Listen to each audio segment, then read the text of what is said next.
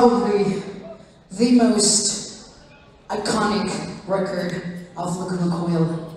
And this next song gave the title to this record. Partial in English, and it's called Comalies.